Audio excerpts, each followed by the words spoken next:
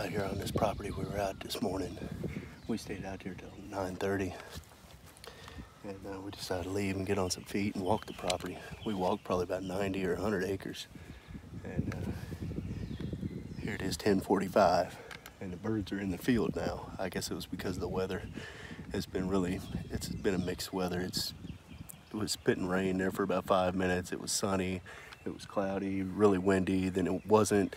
We were just about to pack up and go to lunch. And as soon as we did, we dropped our gear at the truck and I heard this thunder gobble. Daniel heard it too. We both looked at each other and was like pointing straight to the blind.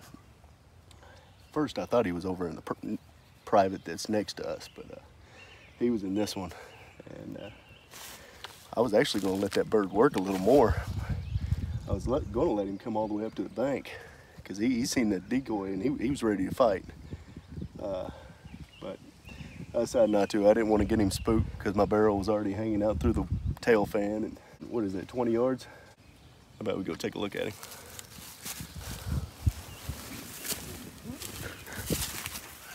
All right, guys.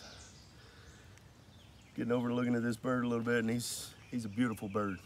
I mean, he's got a monster head. That's probably the biggest headed bird I believe I've ever seen in my life. But he was right in the middle of breeding this hen, which I think that's probably a cause of this.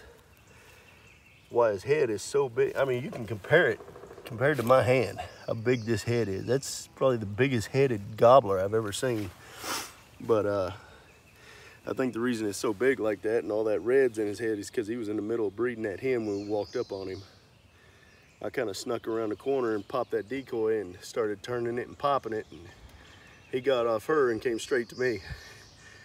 And uh, I, I, let him, I mean, he was, what was he, 75 yards out to begin with? Mm -hmm. I think he was about 75, 80. And I let him get to about within 20. And I, I was wanting to let him get a little closer, but I wasn't about to take a chance. I didn't come all this way to Tennessee or Kentucky not to get a bird this year. So, but I mean, he don't have a paintbrush, but he has a rope on him. I mean, that's every every bit of 11. We'll measure it when we get back to the truck. The spurs definitely aren't Tennessee spurs. I mean, they might be three quarters, seven eighths. Oh yeah, beautiful dark fan. So I guess this wraps up Kentucky. This is my uh, 2022 Kentucky bird for uh, for me and SVO.